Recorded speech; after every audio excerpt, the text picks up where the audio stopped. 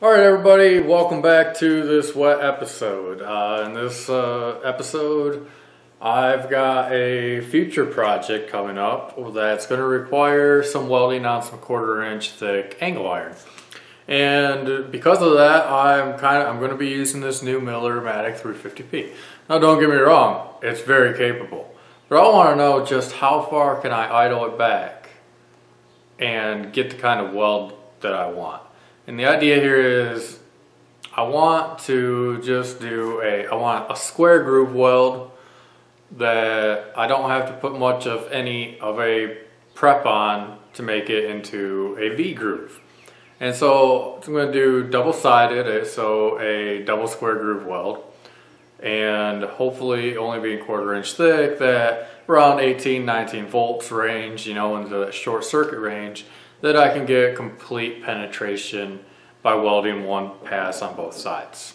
So that is where I hope to try it. I'll probably start off, I think, of uh, around 19 volts, 200 inches per minute. And I'm probably going to do another one more around 20 or 20 and a half volts. And I'll probably probably kick the wire feed speed up about 230 maybe in that range. And from there, I'm going to probably cut and etch those and see if I can get the complete penetration. If not, then I will probably be forced to either do a bevel prep. And the idea of keeping it cool is I just, I want to limit my distortion. I seem to have issues with distorting things when I weld them, you know, but hey, I just like to weld. So I'm going to bring you in, show you the weld symbol, show you the setup, and then we'll weld it, cut it, etch it, and look at what we get. All right, so here we are. Uh, this is just what it's going to look like. Your uh, square groove weld, you just butt the pieces together. No prep really. I mean, you can you can grind off or sand off any of the the mill scale, but I'm not going to. Uh, and this is your weld symbol. So what we've got is, I mean, our our arrow is just pointing to either or. If it was a prepped side, then you would point the arrow to the side that's being prepped. But square groove symbol, that's it, just the two hash marks. And since it's both sides, I'm on both sides of my reference line. So again, other side, arrow side. All right, real quick, one more time. I am at 19 volts and 200 inches per minute.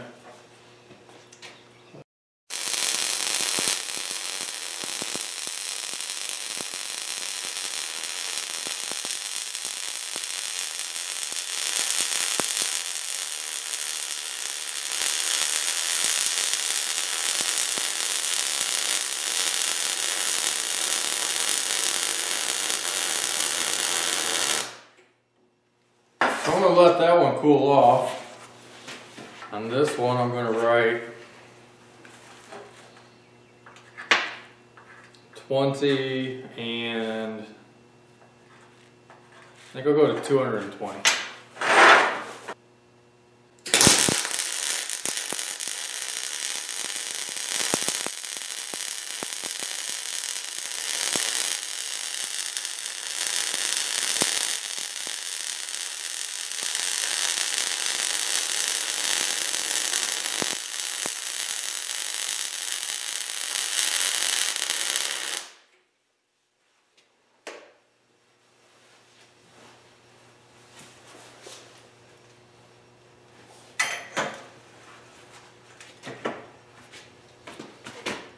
So I'll let that one cool off.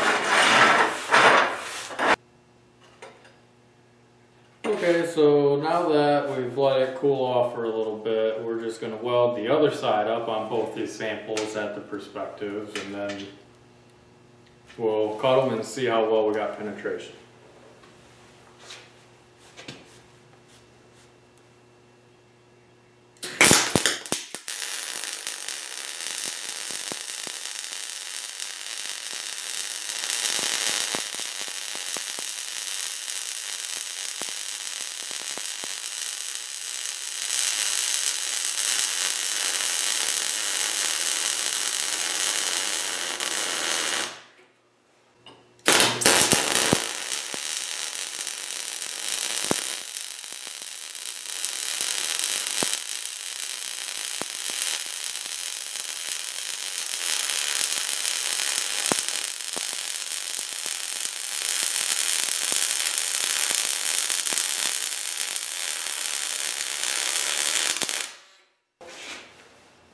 Went ahead and put the 19 volt side on the left and the 20 volt side here on the right. And then just give it a quick hit the wheel and go from there.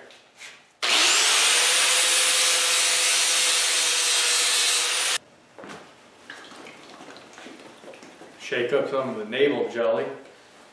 Case you guys haven't seen it yet, I am using just your regular Loctite naval jelly for etching of regular mild steels. There's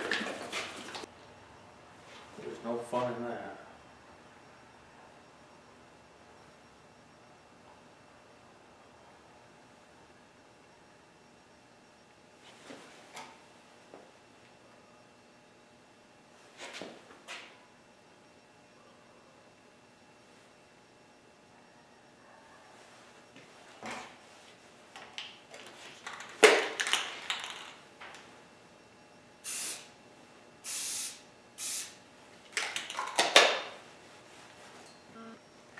So I went ahead and just hit it with a quick coat of clear. It kind of helps contrast, I think.